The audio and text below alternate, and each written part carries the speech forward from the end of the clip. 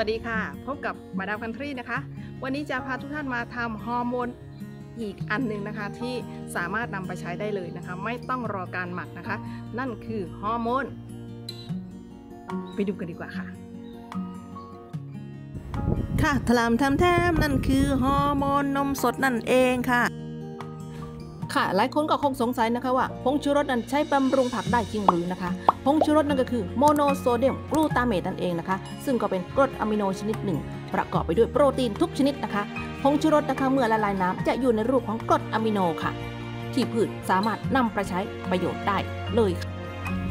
จึงช่วยกระตุ้นการออกดอกออกผลและทำให้ได้ผลผลิตเพิ่ม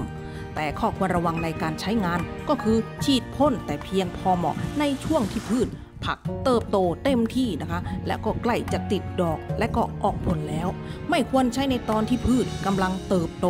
เพราะว่าจะไปยับยั้งการสร้างรากนั่นเองค่ะ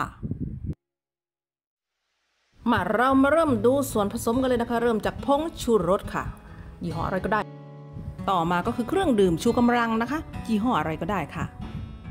ต่อมานั่นก็คือนมสดนะคะนมจืดนั่นเองค่ะ นี่แล้วก็ ขวดน้ำใสๆค่ะ ไว้สำหรับผสมนะคะ ค่ะอันดับแรกเลยนะคะ เราก็เทนมสดลงไปเลยค่ะ เทลงไปเลยค่ะ ก็ต้องขออภัยกันด้วยนะคะ เพราะว่า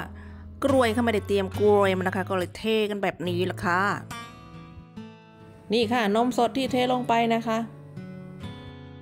ต่อไปค่ะเราจะใส่ผงชูรสไปประมาณ 1 ช้อนชาค่ะ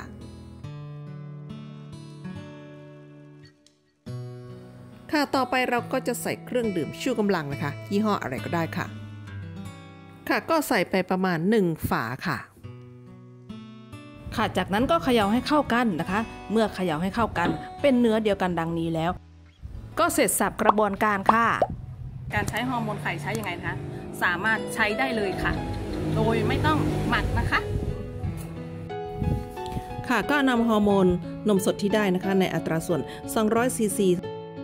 ต่อน้ำเปล่า 20 ลิตรนะคะ แล้วก็คนให้เข้ากันค่ะ หลังจากนั้นก็นำไปฉีดพ่นผักผลไม้ของเรานะคะที่มีนะคะ ตั้งแต่ช่วงเวลาที่เหมาะสมนะคะ ประมาณตีห้าจนถึง8โมงนั่นเองค่ะผักผลไม้ของเราก็จะสวยงามค่ะค่ะหวังว่าจะเป็นประโยชน์สำหรับมือใหม่ที่กำลังจะทำฮอร์โมนนะคะ ถูกใจอย่าลืมกดไลค์กดแชร์ กดติดตามกันด้วยค่ะ เพื่อจะได้รับฟังเรื่องราวดีๆ ดีๆ ดีกันอีกต่อไปค่ะ สวัสดีค่ะ